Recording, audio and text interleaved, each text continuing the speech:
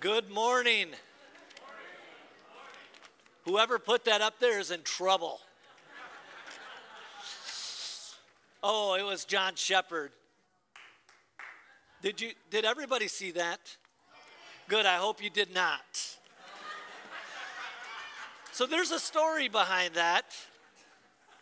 There's a little story behind that. One day I was coming to work and I seen a guy on a little moped that looked really similar to this with a backpack on, and I was talking with somebody and I said, Who is this guy? It was Pastor Matt.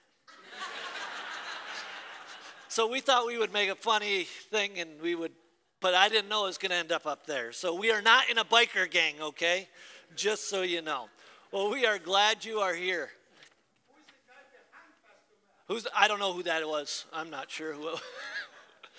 well, we're glad you're here. Let's uh, open our service with a word of prayer, shall we? Lord, we are thankful to be here. We're thankful to be able to come and worship, to worship freely, to read your word, to sing praises to your name. And Lord, today we pray that you would prepare our hearts for what you would have for us. Lord, that you would just tenderize it to a point where it would be moldable. Lord, that you would help transform us into who you would want us to be for your glory. Lord, be with the singing. Uh, Lord, just be with those that will be singing and, and uh, praising you. But Lord, we're just so grateful that we serve the, the King of Kings and the Lord of Lords. And we're asking that you make yourself known here in this place today. And we ask it in Christ's name. Amen. Uh, Terry is going to come and lead us in song. So, Terry, if you would come.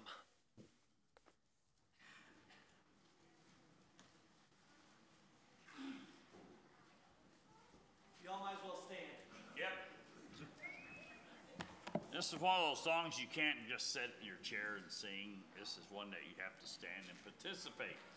Uh, while we're getting ready up here, uh, quick announcement. Nursing home services at Maples has now restarted. And actually today I'm, we're going over there and doing two services in the morning. Anybody wants to come, we can have up to five people. They do limit. Anything else? Can I get myself? No. okay, standing on the promises of Christ my King. What other promises in this life that can you have that is guaranteed that it is going to be eternal? Keep that in mind as we sing the song.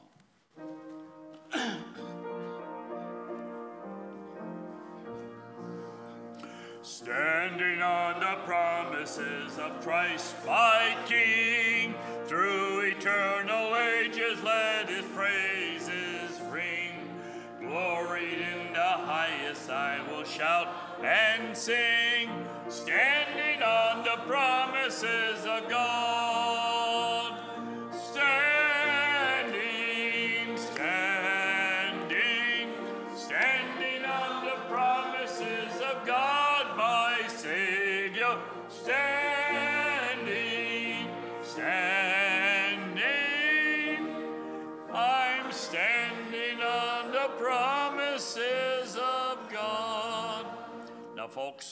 Not picking on any congregation or any other denomination, but I've seen Methodists get more excited at a business meeting. So put your voice into it, put your heart into it that you want to sing. Standing on the promises that cannot fail when the holly storms of doubt appear assail. By the living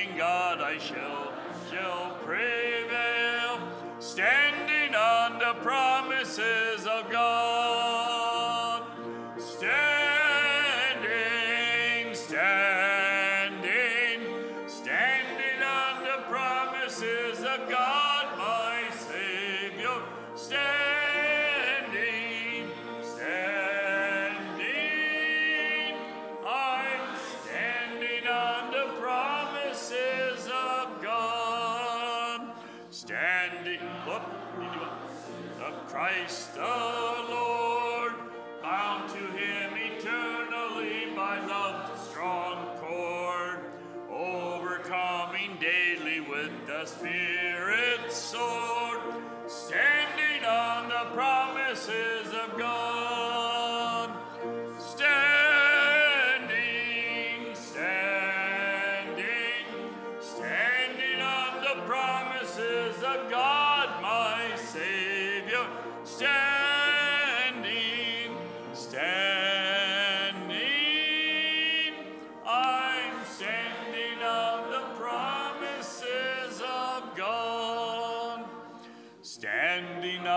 promises, I cannot fall.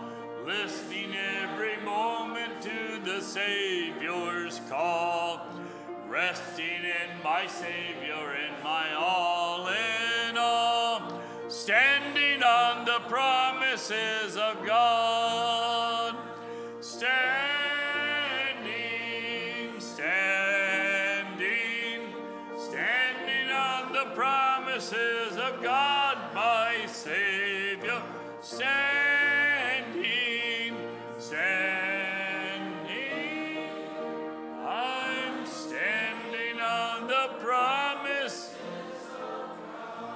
job, folks. Good job. Thank you. You may be seated.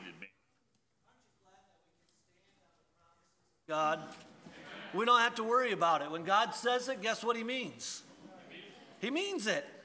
How many of us have said things and didn't mean it? Our God does not do that. Isn't that great? Well, at this time, we are going to have one of our real live missionaries that we help support come and give us an update on what's going on. And so, uh, Bryce, if you would come and, and just tell us how things are, and he's going to uh, bless us for a few moments here. So, thank you, sir. Good morning. Uh, my name is Bryce Velkamp, and it's always great to be with you here at Eden Bible, and it's also just always great to be in Benzie County. Can't think of a better place, uh, especially in the summertime. So, uh, always love to have the opportunity to come and give an update of what God has been doing in our ministry. I work with Bridges International, uh, which is a ministry of Cru, and we work to reach international students. And I get to lead a team uh, and uh, train and resource a team as we seek to reach out uh, to international students at the University of Michigan and surrounding campuses in the Detroit area. And uh, there's a great need. Um, if you want to go to the next slide here, there's a great need with international students. Um, many of them are wondering if they feel welcome when they come here uh, to the United States. Uh, many of them feel quite safe, um, but some of the violence they just heard about in the news that's happened across the United States, some of them across the nation actually returned to their home countries. They didn't feel safe here and the, in the U.S. And uh, so that's a reality that uh, we get to have the opportunity to care for them and help them in that. Uh, many of them just feel lonely when they come and study here. They don't really know anyone. Imagine coming to a, a dorm room or an apartment and you have no, uh, no housewares, uh, no furnishings, and you have no idea how you're going to get it. Um, that's often a reality for a lot of them.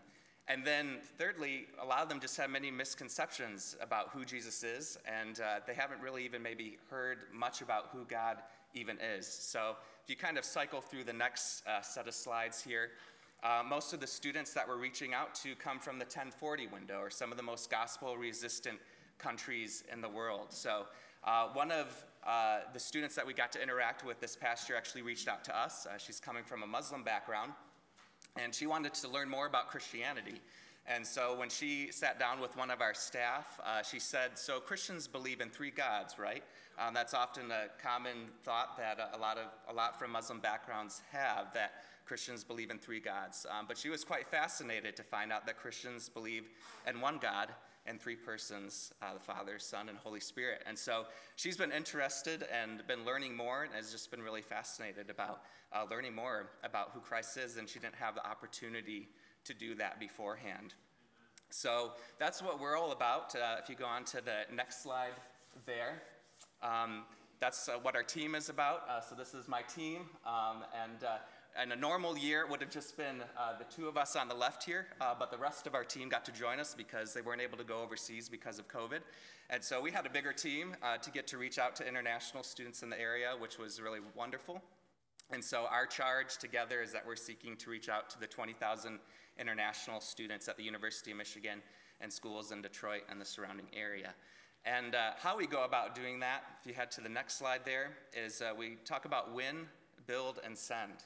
So we want to see students won to Christ. We want to see them hearing about Jesus and getting the opportunity uh, to come to know him. So one of the ways that we did that is we kind of shifted our week um, and we began uh, having a Saturday social, and we invited students who came to that to stay afterwards and to experience a Bible study. So many of them got to experience reading and opening the Bible for the first time.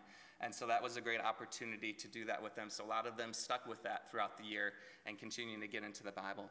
Uh, not only do we want to see students come to Christ, we want to see them built up in their relationship with God. We want to see them become disciples for a lifetime. And so, uh, one of the great opportunities this past year is we got to see more students who are already believers involved in our ministry. We had six students who are believers, and uh, they started meeting together in Bible studies.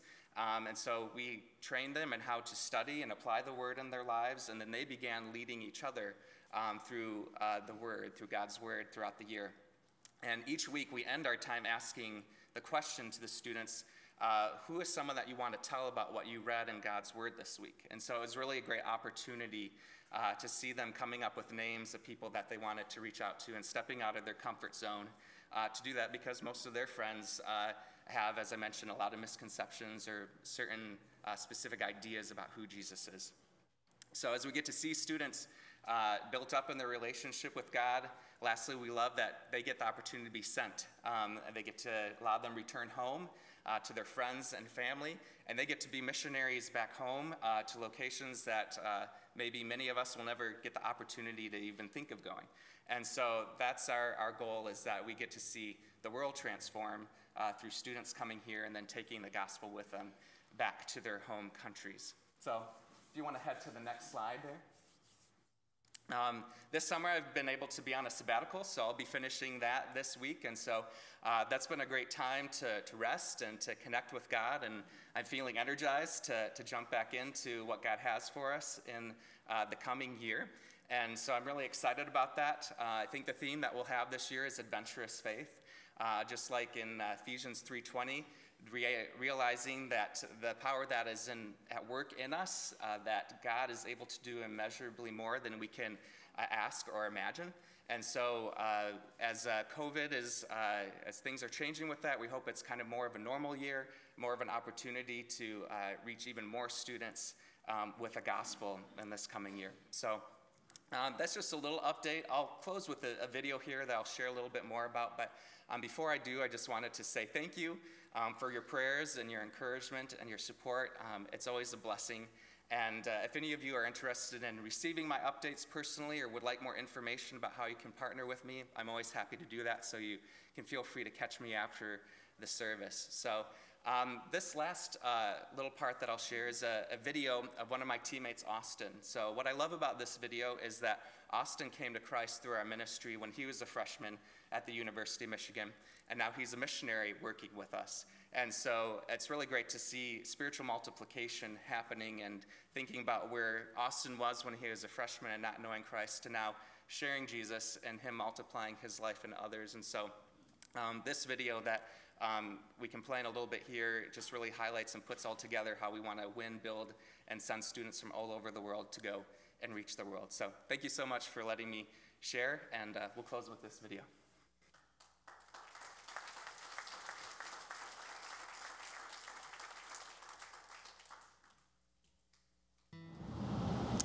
Hello, my name is Austin. I work with the Bridges Movement, reaching out to international students here at the U of M and at other nearby schools. This is the story of how God saved my friend Emery. I met Emery at a small grocery store on a Sunday afternoon. Emery is an international student from East Asia who came here to study engineering. When I met him, I shared a, uh, a little bit about Bridges and invited him to come play soccer. Uh, when he came, he met other followers of Jesus and from our church and from Bridges, and we quickly became friends with him. Uh, Emery joined our soccer team.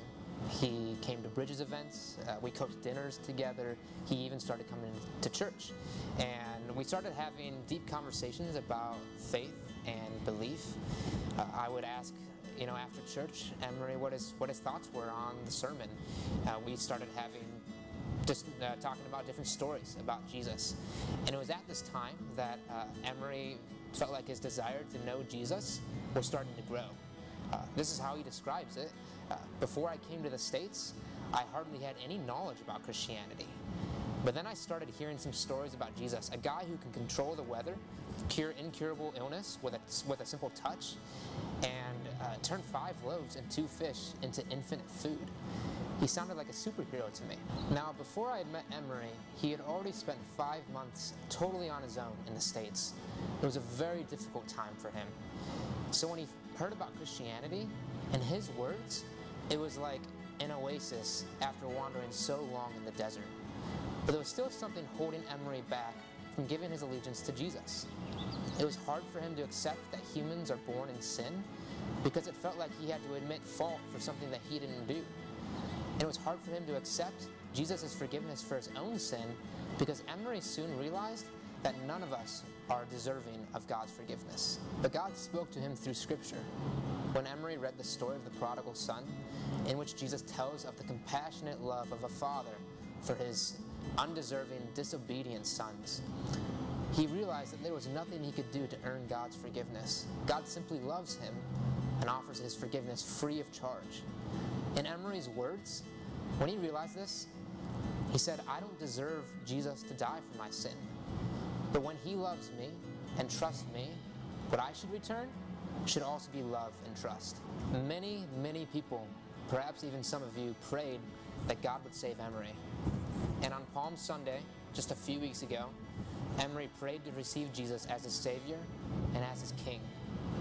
Through the love of believers, through the gospel being preached, through scripture and through prayer, God saved Emery. He's now a follower of Jesus. He's one of God's adopted children, and he's going to live with God and with us in heaven forever. It's absolutely amazing. It's wonderful. Over the last few weeks, Emery's new faith has really encouraged me. He shared with believers and non believers in one of our Bridges groups that following Jesus is completely worth it. In Emery's words, and I completely agree with him, when you give your life to Jesus and you trust Him, it's amazing. God is moving in the lives of students in Michigan, like He moved in my life when I was a student. When I was a student, students in Cru shared the gospel with me. They showed me the love of Christ, they prayed for me, and God saved me. And now I'm a missionary. God has saved me, now Emery, and many others through Cru, and it has completely changed our lives forever.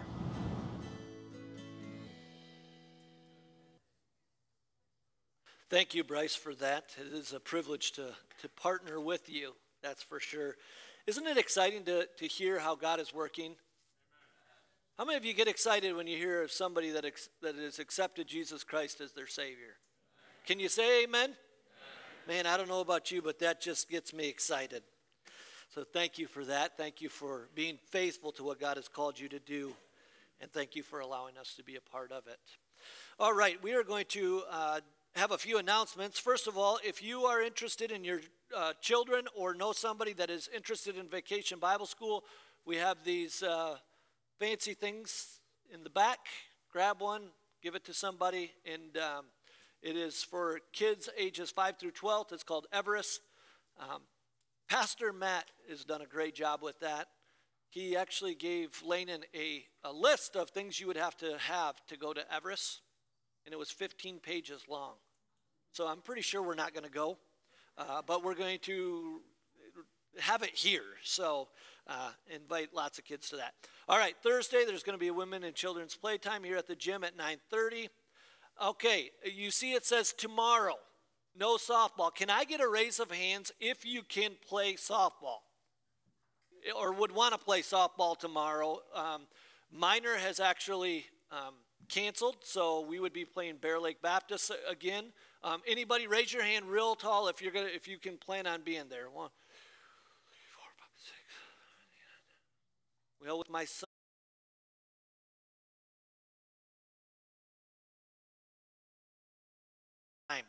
All right, July 17th, uh, there will be a trustees workday here from 9 to noon. You don't have to be a trustee to come and help. We'd love to have you as well.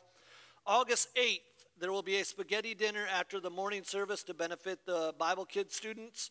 Um, a love offering will be accepted. So, right after the service, uh, the 8th, if you're interested, you don't have to cook dinner, just jump in, and uh, we would love to have you for that.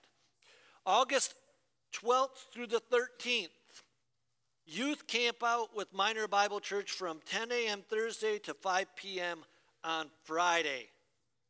Just so you know, I will not be there.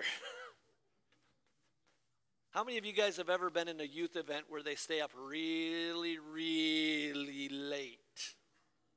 How many of you, or never sleep, yeah. How many of you uh, find that as you get a little bit older, you don't recover quite as quickly? So I'm sure I'm going to make a presence known, but I will not be sleeping there. But it is a really neat event. Um, there's sheets in the back that uh, outline what you need and what you're gonna, what they're going to be doing. So please um, uh, grab one of them if you are interested, or talk to Tyler. All right. Also, next week we will have a sportsman's banquet meeting. I know people say, "Are we doing our sportsman's banquet this year?" The plan is yes. We are planning on doing the sportsman's banquet. Um, I know people say, well, that's February. It sounds crazy, but February is right around the corner, okay? Especially when it takes this much to plan. So next week we will have a meeting right after the, the morning service to discuss that. All right, did I miss anything? All right, if not, let's have the men come forward for the offering. And then don't forget, uh, if we have anybody that was that's retired that would like to help with the maintenance of the church vans, please come to talk to me or Heather, and we will. Uh, we're trying to make a list of everything that can happen there, so that our vans are ready to go whenever we need them. So, all right, men, if you would come forward. If you are a visitor, you will notice we passed the the, the plate twice. We have two plates. One is our general offering, and then the wicker basket is what we call our youth offering. And our youth count it. Uh, the youth uh, write it down. They are in with our, our the people that count it for us, the men, and then they decide how they spend it. Now we put some parameters on them. Obviously, it's not just going for cookies, cakes, and pops. Um, but they've done a lot of great things in our community with it, and so that's what that is for. So. All right. Well, let's uh, pray. John, would you pray for the, the offering?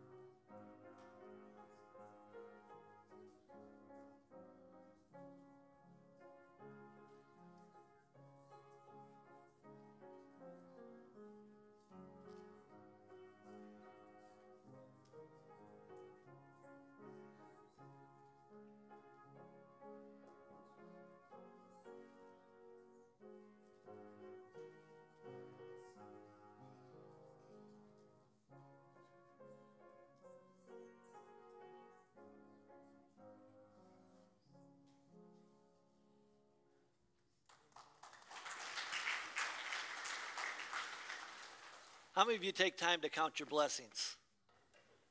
I tell you, we are a blessed people, are we not? Oh, blessed beyond measure. Julie, if you would come, special music.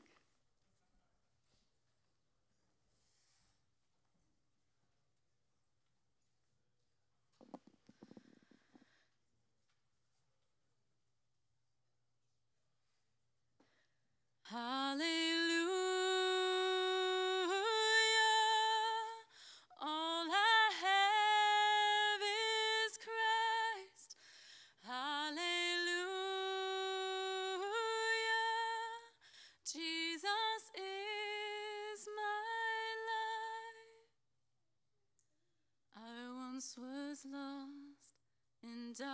darkest night. You thought I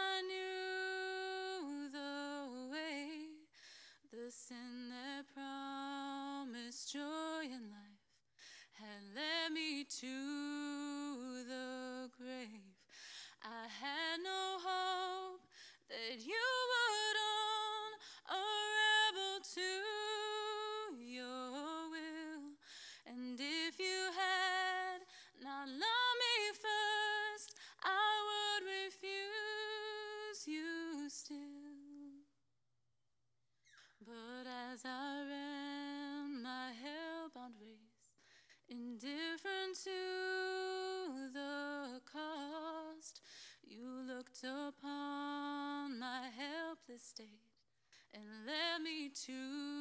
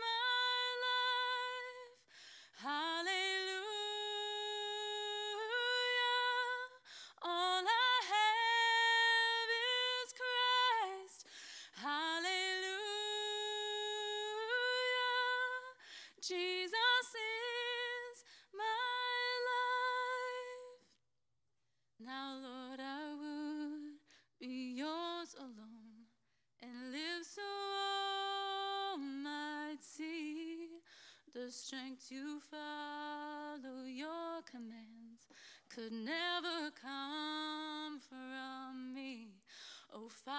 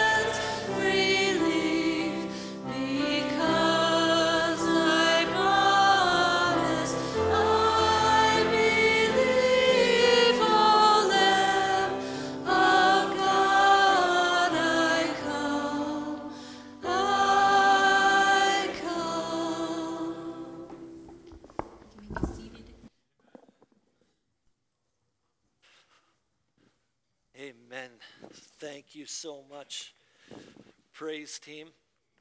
I just want to uh, make mention of a, a, special visitor. I'm not going to call him, but a, uh, uh, I have a friend here uh, raised in Iraq um, as a Muslim and now a follower of Jesus. So, welcome, Mr. Louis. I am so glad you are here to, to, to, to be a part of this. Just a, a neat guy. So, all right, turn with me if you would. We're going to start in the book of Matthew. We are going to continue on our journey of teach us how to pray.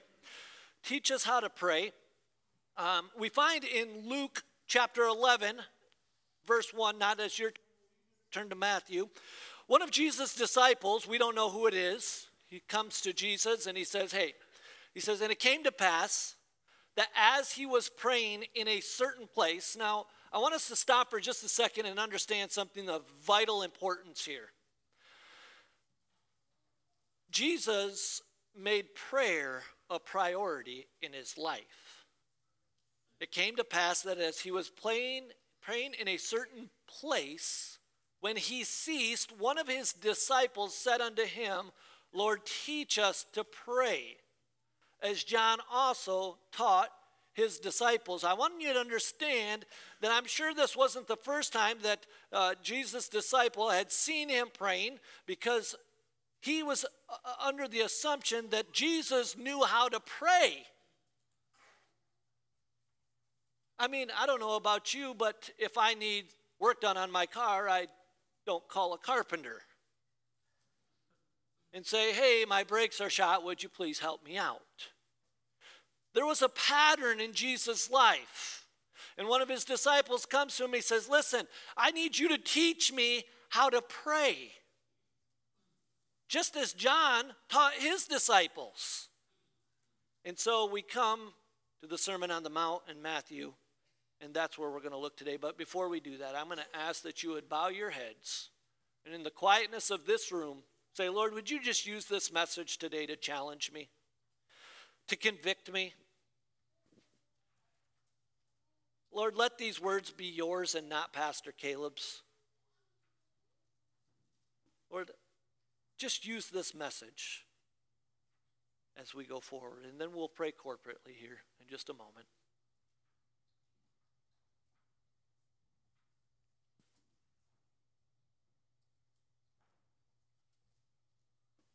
Lord, we're here today because we strive to know you better, because we want to strive to know your word better, and therefore know you better. Lord, I pray that right now you would prepare our hearts for your word.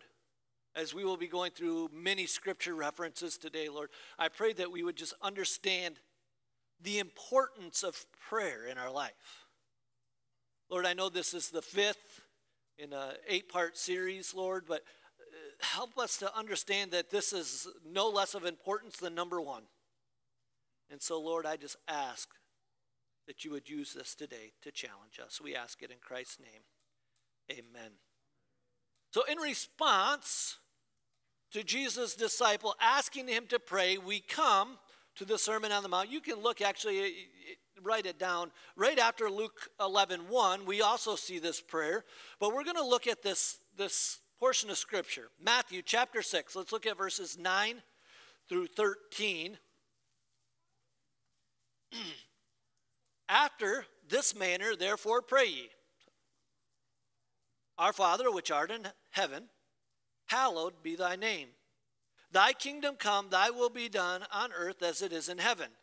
Give us this day our daily bread, and forgive us our debts as we forgive our debtors. And lead us not into temptation, but deliver us from evil. For thine is the kingdom and the power and the glory forever. Amen. We've looked at several different dimensions of prayer. This is a model prayer of Jesus. In response to his disciple saying, Lord, teach me to pray. We've looked at, Lord, teach us. Lord, rule us when we pray. Lord, forgive us. Uh, and now we're coming to this one. This is one that's really interesting, but it's Lord, keep us.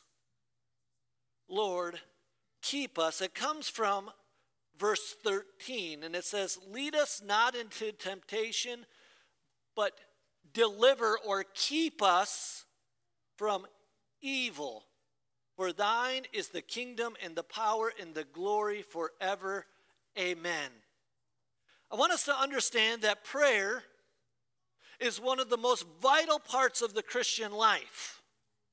Prayer is the one thing that we can do anywhere, but it is often the most underused and abused part of the Christian life. How many of us, I've said this before, believe in the power of prayer? Can you say amen? amen. We, we got to get into this rhythm of amens, okay? It's, it's, I agree, okay? Amen, right? All right. So we got to get into this. But the power of prayer, but yet so many times it's the very first thing that we neglect. Do you know why? Because it takes time and effort.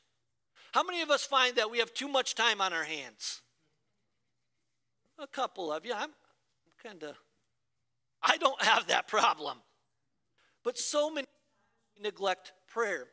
We looked last week about a man who had an incredible prayer and God honored it. Turn with me, if you would, to First Chronicles chapter 4. A man that only has two verses in the Bible that, are, that, that even mentions him.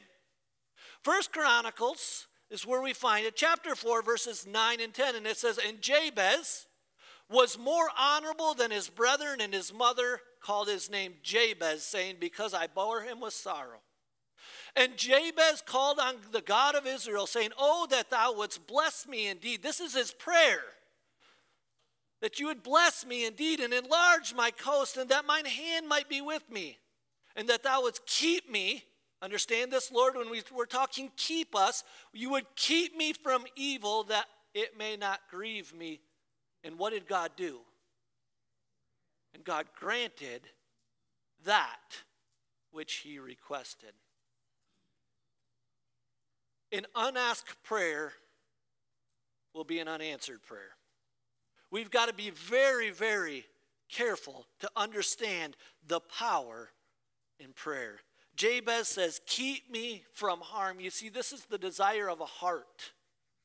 The desire of a heart is, Lord, keep me from harm, keep me from evil. And what did God do? He granted that. Blessed. We're going to look at three elements of this keep us prayer, okay? This model prayer, three elements of it. And uh, so if you're writing this down, you'll be very happy. It's a three point message. Um, the first, it is keep us, underscore this, from. Lord, in our prayer, keep us from. This is, uh, I had to look this up. It's kind of interesting. I'm, can anybody tell I'm not an English major? It always blows me away when people are like, Yeah, I speak three languages fluently. I said, I don't even speak one fluently. But this is a, a, a preposition, and it's, it's to be in a situation or thought that makes you do evil. It's this temptation. And so when we look at keep us from, the first thing is keep us from temptation. How many temptations are in our life? It goes from simple to more complex, does it not? Let's talk a simple one right here, okay? Put chocolate in my bedroom. And then tell me, don't eat it. Actually, do it to my wife, and I can guarantee you what's going to happen. Okay? Now, that's a pretty simple temptation, is it not? But let's get a little more complex Give me the ability to buy a new car, even though the one I have is older but is just fine. Do we find that a lot of times the temptation can be covetous? We look at what everybody else has and we say, well, their car has, every one of them now has cruise control. It used to be, oh, it has cruise control. How many of you guys ever drove a vehicle that doesn't have cruise control? How many of you have never even, okay, all right. Nowadays, all of them have it, right? But it's that idea, temptation. It's this, this thought or t- uh, situation that puts us into evil. Look at Matthew chapter 6. We're going to look at verse 15. Matthew 6, verse uh, 13, I'm sorry. And lead us not what? Into temptation, but deliver or keep us from evil. Lord, keep us from being in a position of temptation. How many of you guys have ever put yourself in a position where you look at it and you went, oh, what was I thinking? Anybody? Raise them high. All right. I did it yesterday. How many of you guys have moved lately? I'm going to tell you something. I am convinced God is going to have me in this house the rest of my life. Moving has not been fun.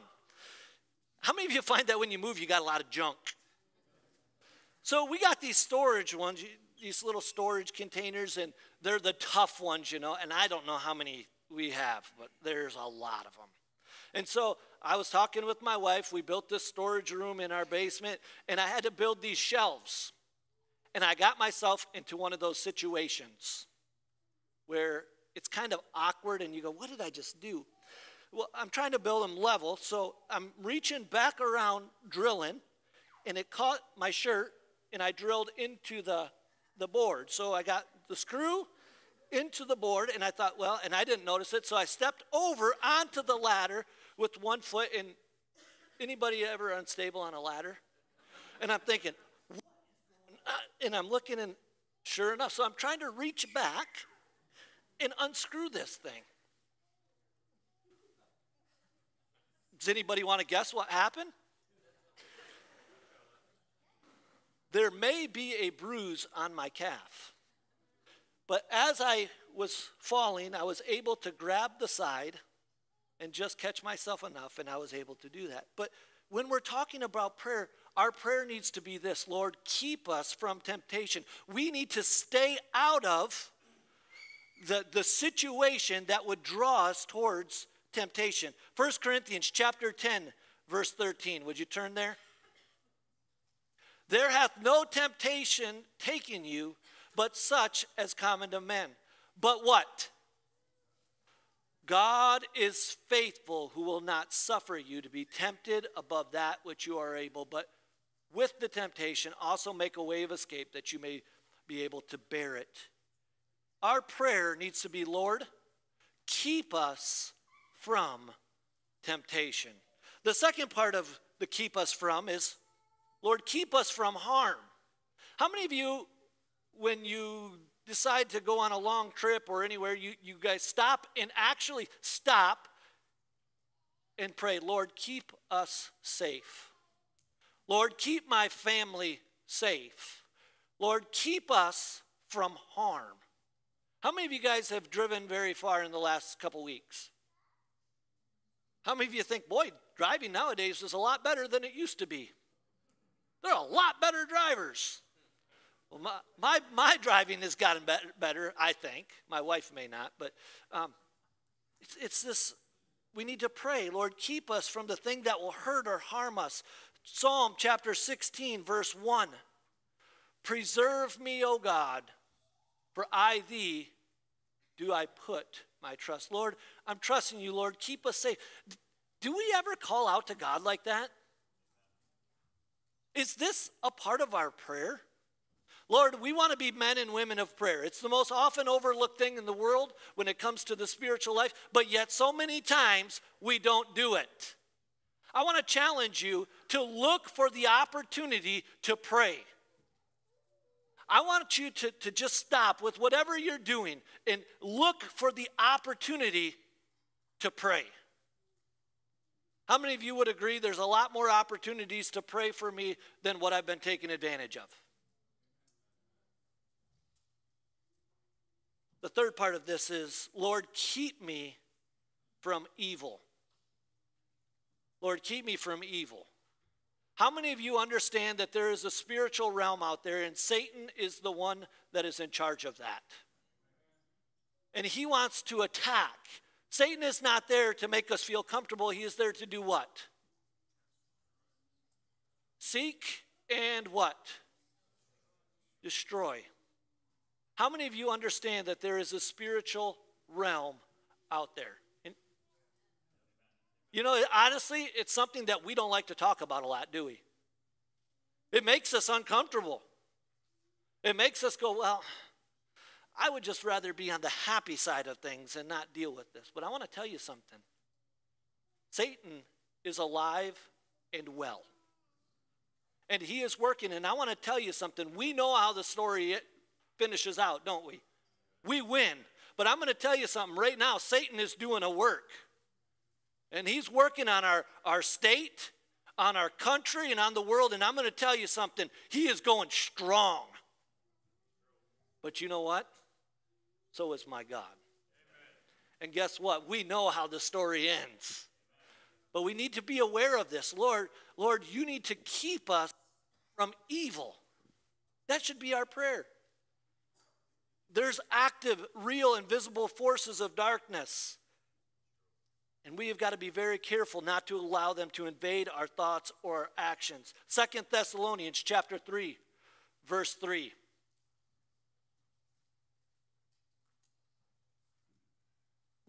But the Lord is faithful, who shall establish you and keep you from evil. We need to lean upon the Lord to keep us from these things. That's what we need to do. How many of you have ever been on an unstable ladder? I've been just yesterday. But you know, when we're in the Lord, we don't have to worry about it.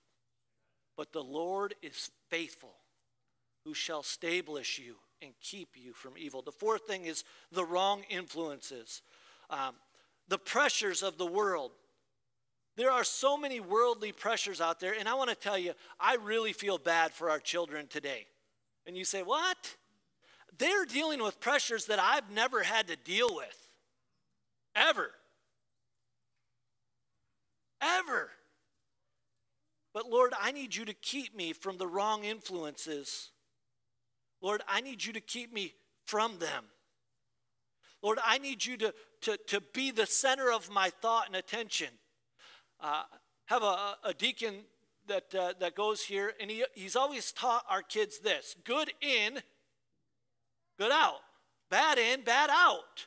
You got to fill your life with the things of God. That's not popular in the world today, but I want to tell you something. If you are a true follower of Jesus Christ, that should be a priority. It should be a priority.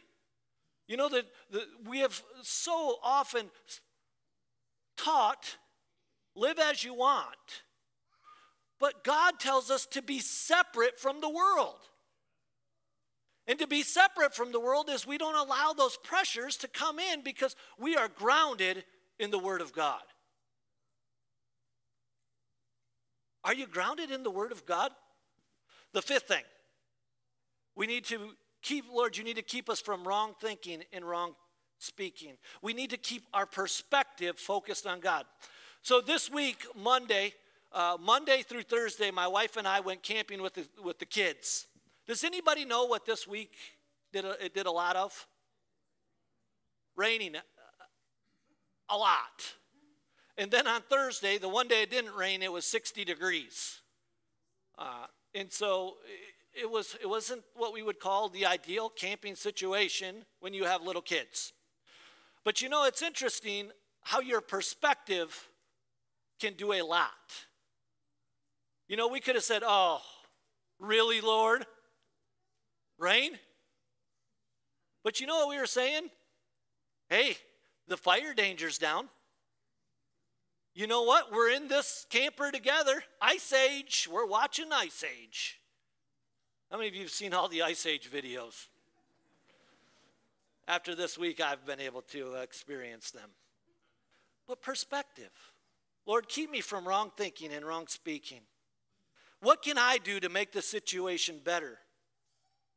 What is in your heart comes out of your mouth. Psalm 19, verse 14. Psalm 19, verse 14.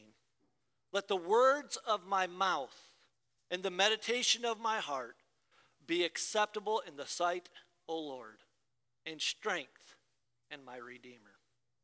Our second main point is this Lord, keep us for.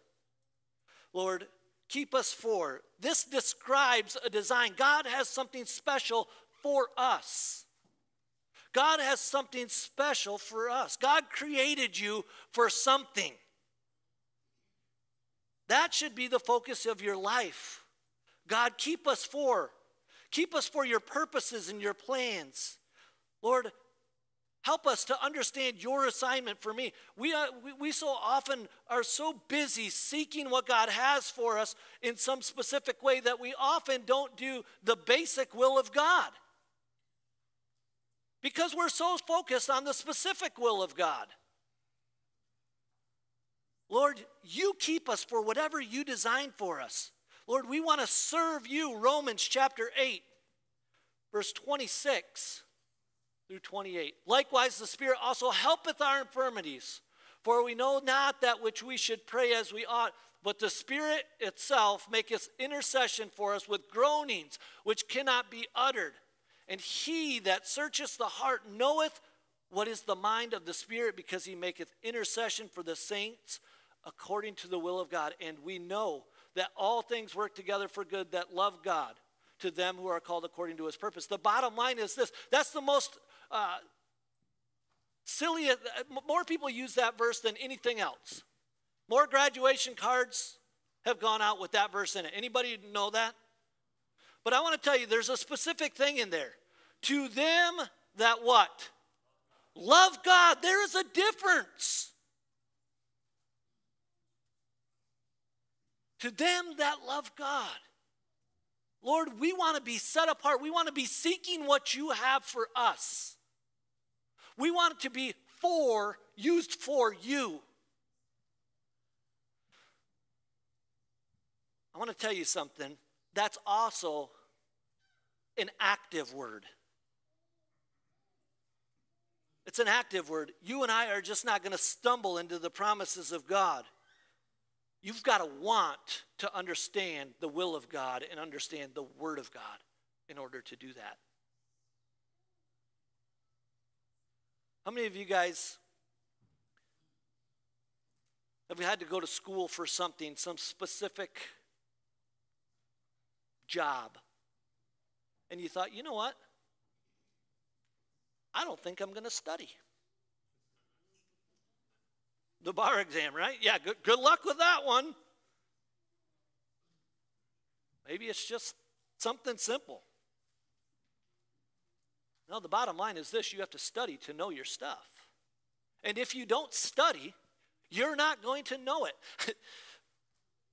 my kids, two, two of my kids are in that stage where they're getting their driver's licenses now. So I looked up, you know, uh, what they need to know.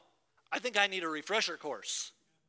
How far should you be away from the sidewalk? I don't know. Uh, so you're not out in the road. There's a specific length you got to be out. I'm like, really? Okay, when should you turn on your turning signal when passing somebody? When you get by them. What? No, and the bottom line is this. In order to know the will of God and to be used for God, you got to understand God. And in order to understand God, you've got to be in His Word. But it's an active word. It's not, hey, this week I'm going to pick up the Bible and I'm going to know a lot about it. If you want to grow in your knowledge of God and you want to be used for God, can I tell you something? This is a good place to start right here. But if you think you're going to become a mature Christian by coming one hour a week, I got news for you, and it should be news for me. It ain't going to happen. Study for your test for one hour. I could ask people, well, would you pass the bar exam? No way. Would you, would you test the, would you pass the engineering degree test, whatever? No way. But yet we would do that in our spiritual life? Absolutely not. God has a purpose we are chosen for a purpose, but we need to, that needs to be a desire of ours. We need to pray uh, our pray your way into God's purpose for your life. Psalm 143 verse 10. This is David's prayer. says, Teach me to do what? Hold up. Lord, teach me to do thy will. That's the Lord's will, not mine. For thou art my God. You are my God, Lord. I want to do the, I want to understand your will.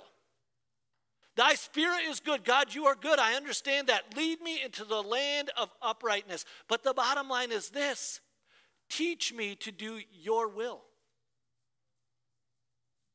Is that our desire? To be used for God? This is David's prayer.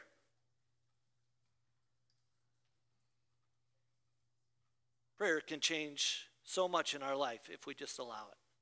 The third and final thing is this Lord, keep us in.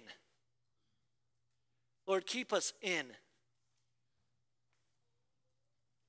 But keep us from, keep us for, but Lord, keep us in. To be, me, to be in, it means to be in some type of a relationship. And there's three things that we need to be kept in when it comes to Christ.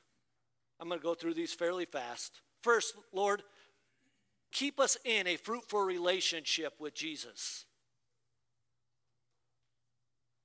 So many times we let people dictate our relationship with Christ. Can I tell you this? Take it for your own.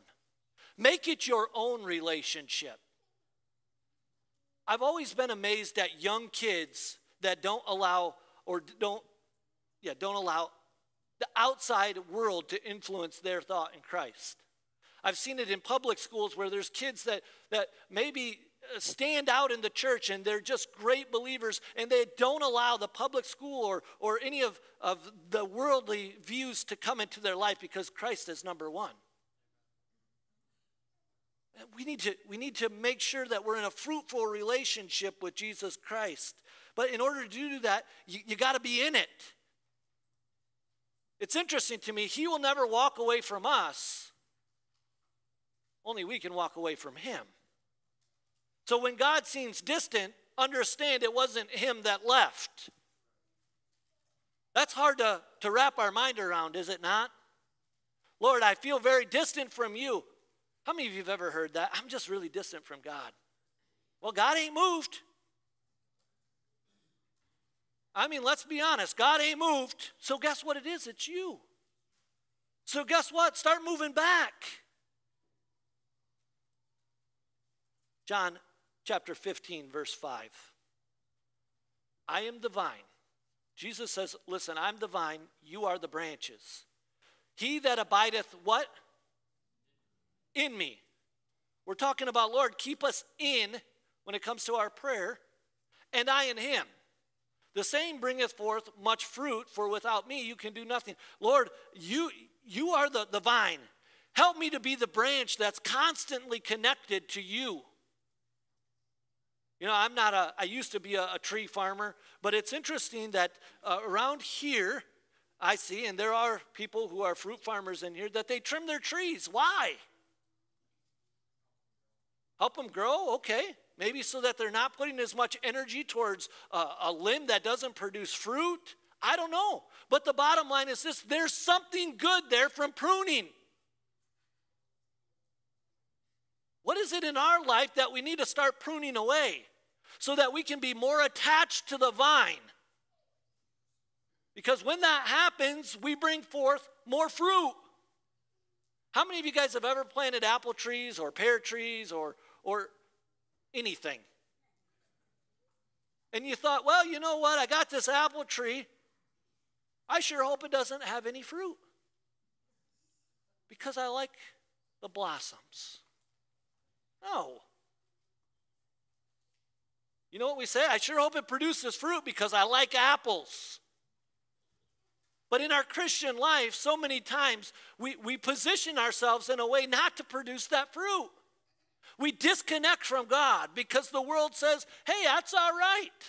But God says, no, no, no, no, no, no. You need to be connected to the vine. I'm the vine. And when you're connected to the vine, you will produce more fruit. How connected are we to the vine? Lord, keep us in a fruitful relationship with Jesus. Help this result to be food to be fruit. Help us to be attached to the vine. The second thing is to be in a right relationship with others. We need to be in a good standing with other people. You say, What? That doesn't seem real spiritual. I want to tell you something. Honestly, it's not my desire to worry about what everybody else thinks. But what it is my desire is to make sure that I'm living above reproach. That is a desire for me. And when I find that, you will have people that attack you. But when you're in a right relationship with Christ, living without reproach, it doesn't seem to hit us quite as hard. You can write this down. I'm not going to go there. Ephesians 4:13. We need to pray for it. We need to work at it. And then the third thing. Lord, keep us in our place of calling and assignment. Many of you have heard the story of the man in Ohio that was called to be a pastor of a church of two people. He said, Lord, I don't understand why you've called me here. I just don't understand. And for six years, him and his wife and his two kids showed up with two other people. And in those services, he would pray, Lord, would you please grow this body of believers? Lord, would you please grow this church? Not for my glory, but for you. For six years, they never even had a visitor. And one day, a man showed up. And he said, I didn't even know this church was here. The pastor said, For six years, we've prayed that you would show up. That man continued to come and he brought his family, and pretty soon, another family, and pretty soon, another family. And pretty soon, they seen this small town being reached with the gospel of Jesus Christ. But can you imagine being that pastor there for six years with only two people? Lord, keep me in your assignment and what you have for me, your calling for me. Help me to be faithful. You know what? I don't care if you clean the toilets, do it faithfully. I don't care if you mow the grass, do it faithfully. I don't care if what God calls you to do is sweep the carpets, do it faithfully because we don't know what the results are going to be. Do you think that pastor who went to Bible college thought, I'm going to be a pastor of two people? Probably not. That church today has over 3,300 members and is reaching so many with the gospel of Jesus Christ because one man was faithful for so long to his God because he understood his calling. Lord, in my prayer, you this keep me in your calling, keep me in your assignment. See, we have to have a need to fulfill it. Psalm 92, verse 13. Those that be planted in the house of the Lord shall flourish in the courts of our God. We need to be planting in the body of Christ. We need to be a part of the church. 2 Timothy chapter 4 verse 5. But watch thou in all things, endure afflictions, do the work of an evangelist, make full proof of your ministry, whatever it is. I want to challenge you this. In your prayer life, I'm asking you to do this. Lord, keep us from Lord, keep us for, and Lord, keep us in. Help us to do what you have called us to do. I'm going to ask that you would bow your heads and close your eyes for just a moment. Colossians chapter 4, verse 7 says, Say to Archippus, Take heed to the ministry which thou hast received in the Lord, that you may fulfill it. Are you being faithful to the calling of God in your prayer life? Maybe you're here today and you say, you know what, my prayer life has been one of those things that's been on the back burner. It seems like I understand the power of prayer, but it's the first thing that I discard because of time. I want to challenge you today to make prayer a priority in your life. If you're here today and you say, Pastor, I have not done that, but I, want to commit to praying even more. Pray for me, Pastor. Would you raise your hand? I'm not going to call you out. I'm not going to, I'm not going to, I just want to pray for you. Lord, help it to be a priority in my life. I see your hands. I see your hands. This week, if you walk away from here with nothing more than this, Lord, be with my prayer life. Let me make it a priority. Lord, help me to pray as you have modeled for us in Matthew. Make, Lord, please, Lord, make prayer a priority in my life. Give me the time and the endurance and the stamina to make that a priority. Can I challenge you to pray for somebody else as well? Pray for somebody else as well. Look around at whoever's here and commit to praying for them. Because I'm going to tell you this you need the practice, and they need the prayer. Lord, help me make prayer a priority in my life. Lord, we're here today because we want to grow in our knowledge and our love for you. Lord, I pray that we would make prayer a priority. Lord, this keep us prayer that we talked about. Lord, I pray that we would keep us in you that we would walk closer to you than we've ever walked. That you would use this keep us prayer in our life, Lord. And if we leave here today, help us to remember this. Keep us, Lord, in prayer. And we ask it in the name of our Savior, Jesus Christ, the one who paid the penalty for our sin on the cross of Calvary, that in him we may have eternal life. Amen. Folks, you've been to church. Now go and be the church. Have a great day. God bless.